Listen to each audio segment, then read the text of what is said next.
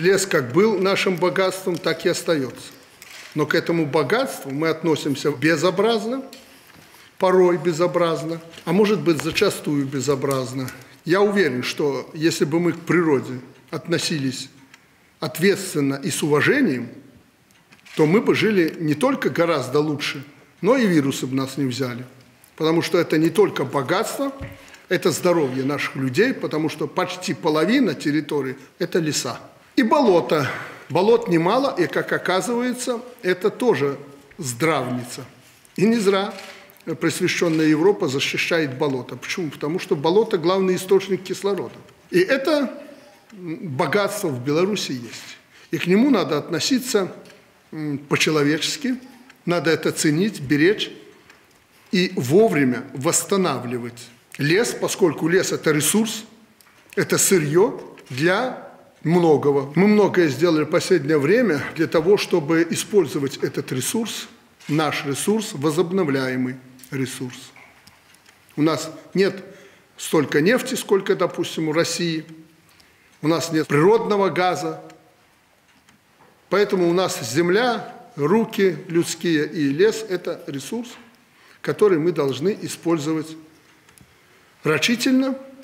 И коли это наше богатство, надо прирастать лесом. Вы вносите проект указа, который в значительной степени меняет порядок реализации лесных ресурсов в Республике Беларусь. Какие вы вносите предложения, я хотел бы, чтобы вы это изложили и обосновали, прежде чем я подпишу этот указ.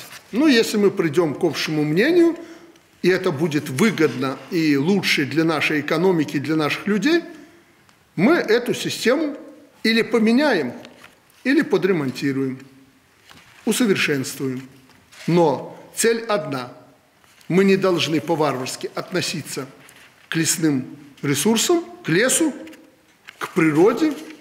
И, во-вторых, все, что мы сделаем, должно быть в плюс – в денежном выражении для бюджета, для людей, для страны. Вот один критерий и принцип, которым мы должны следовать, рассматривая этот вопрос. Пожалуйста, докладывайте. Правила действуют с 2007 года, утверждены указом президента правила реализации на внутреннем рынке. Ну, и, Речь идет только о внутреннем рынке. Да. Поэтому, соответственно, за это время произошли определенные изменения. Я хочу, Юрий, сказать, что вы по внешнему рынку Ко мне даже не приходите. На внешний рынок мы должны продавать продукцию лесного хозяйства с высокой добавленной стоимостью. Да, мы знаем вашу... Чтобы не получилось так, доску сделаете и продадите в Германию или в Словакию или еще куда-нибудь.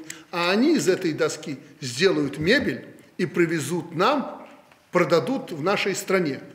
Мы сами должны делать, насколько это возможно. Мы же не все можем переработать и продать с высочайшей добавленной стоимостью, готовое. Но последние случаи говорят о том, что многое можем, вплоть до того, что во Францию мы начали поставлять готовые дома. Поэтому на внешние рынки мы будем продавать только готовый товар.